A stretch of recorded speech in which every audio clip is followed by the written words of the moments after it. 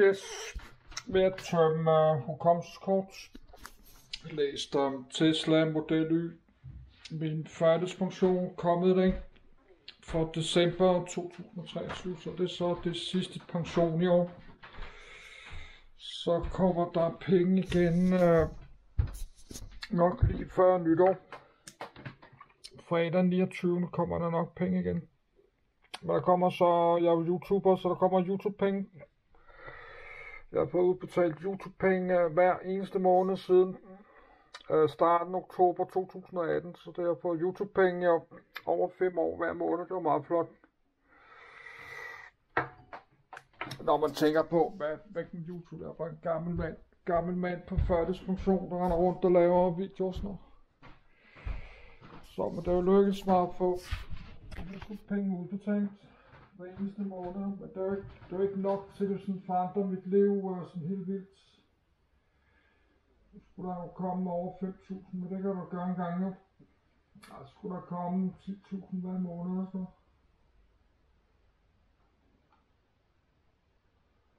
Så jeg har nogle øh, boller du købt i Lidl. Så jeg lige smøre en af dem her to.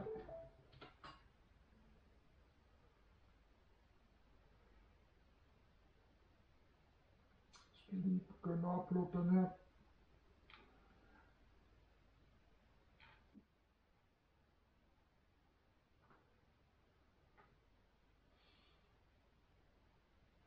Sådan der.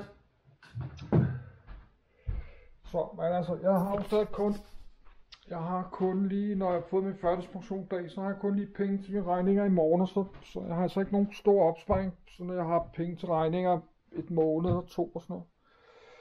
Så det er det, jeg skal prøve på en gang, så jeg bare har en lille smule økonomisk sikkerhed. Skal jeg lave sådan, at der står minimum 20.000 på min uh, bankkonto og 10.000 på min nej, 10.000 på min øh, 20.000 på min lønkonto. Der hvor min regning er betrukket, så 10.000 på min bankkonto, det er den jeg bruger til at hente mad og sådan Så det kan jeg ikke, øh, mens men så har jeg det der gæld, fordi jeg skal jo så... Altså, jeg kan jo ikke spare de penge op, jeg har tilbage.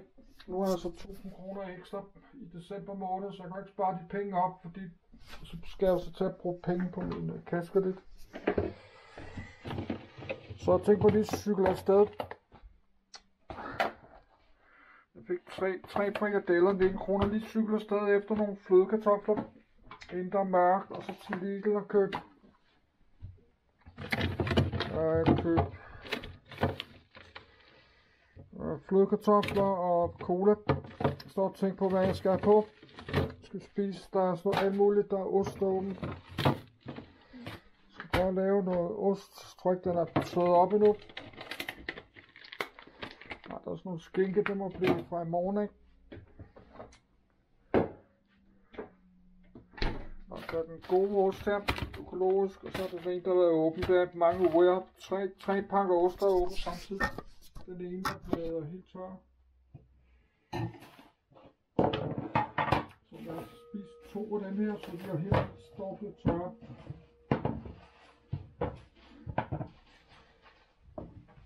Så er der klokken 12 meter lige lidt. Så går videre til morgen. Altså, det er jo så ikke betalt endnu. Altså, huslejen er ikke betalt, før jeg, når jeg vågner i morgen. Så det er altså sagtens, øh, man kan sagtens nå at ødelægge det hele for en selv og gå i byen og være sult. Det er også nogle elementer, der gør elementer på førtidspension, hvor mange af de har så også på misbrug af stoffer, hæs og alle mulige piller og sådan noget. De skal ud af og betale alle mulige klodsregninger. Klodsregning på en indvandrerkøbmand og klodsregning hos øh, pillepusser og hæspusser. Klodsregning på værtshus og og lån, de har lånt penge af deres venner, bekendte og familie. gør de det, og så går de videre, så skal de, så de måske tage noget af det, så går de skam videre der og drikker videre, så er de så på værtshus bagefter morgen. Så du har måske lige penge til husleje i morgen og lige handle 300-400 kroner i øh, netto. Så lidt papir og sådan noget. Så er det sådan set ikke rigtig nogen penge tilbage efter weekenden her. Så. Sådan gider jeg i hvert fald ikke at leve. Så, så er der rigtig mange, der lever på den måde. Ja, jeg er enig med, enig med på, på førtidspension. Men det er også fordi, de, er, de har misbrug af alkohol og, og stoffer og piller og has og, og psykisk syge og sådan noget, så der er jeg jo heldig. Jeg er jo heldig, at jeg ikke har det på den måde. Så lad os, nå, så lad os lave en halv skive. Nej, jeg er jo heldig, at jeg ikke har en eller anden misbrug, hasmisbrug, piller og noget andet stof. Alkohol.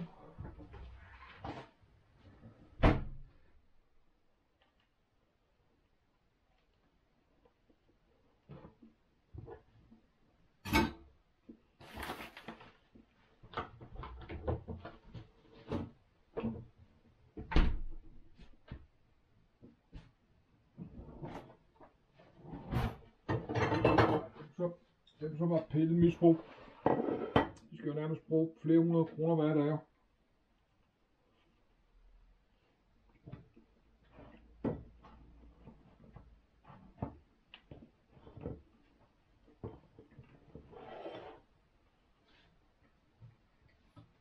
Nej, en, øh, en førtidspension er ikke nok til at betale sådan et pillemisbrug.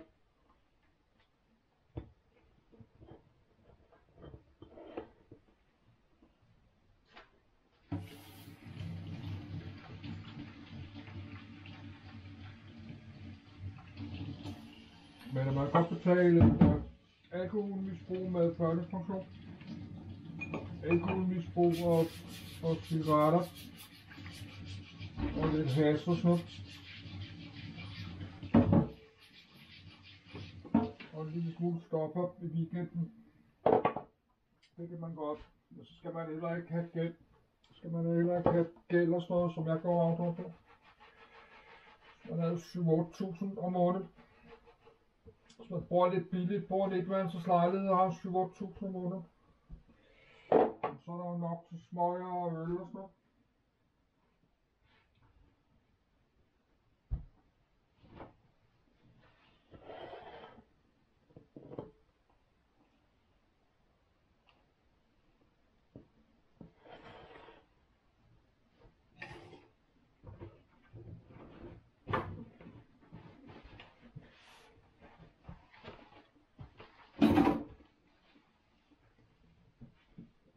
Men der er sikkert også nogen på førtidspension, som er heldig har et godt liv.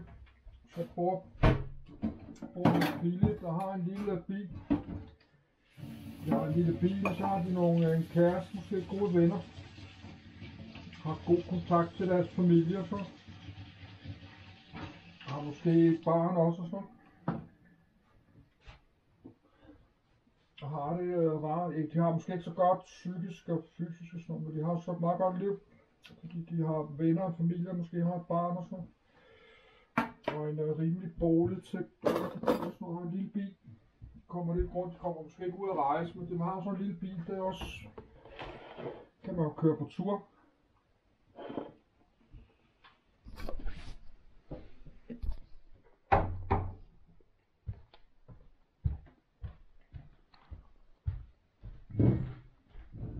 Altså, der behøver så ikke og rejse ind på den anden side af jorden jo, sejle ind og sådan noget.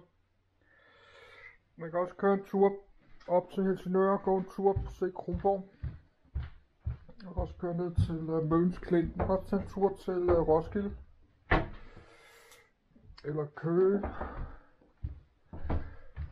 Eller Faxe Ladeplads, der har jeg aldrig været, tror jeg. Masser af steder, man kan hen køre op til uh, Nordsjælland. Hundested har jeg ikke været siden barn. Det er da også meget fint, hvis man har en mor eller far på førtidspension. Køre en tur op øh, til Helsingør og spise is og burger, gå på stranden og sådan noget. Jeg køre til landet eller andet Højbæk eller en by og gå en tur. Så der så har vi selvfølgelig ikke penge til at, til at tage 300.000 kroner til at køre flyve til Australien eller USA eller sådan noget.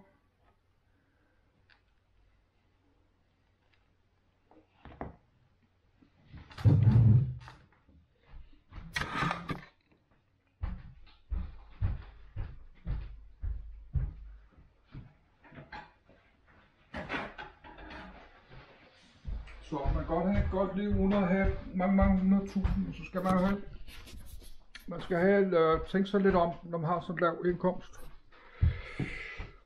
Man skal i hvert fald ikke have sådan noget gæld der. Man må nødt til at overholde et eller andet form for budget. Man er nødt til at kunne styre sig og overholde et eller andet budget. Og så lave øh, lidt billigt, lave lidt billig mad, køb tilbud, som jeg har gjort. Hvis man finder 10 pakker pølser, 10 kroner, og så fylder man fryser, og så spiser man bare stegte pølser i måneden og sådan noget. Eller spejlæg.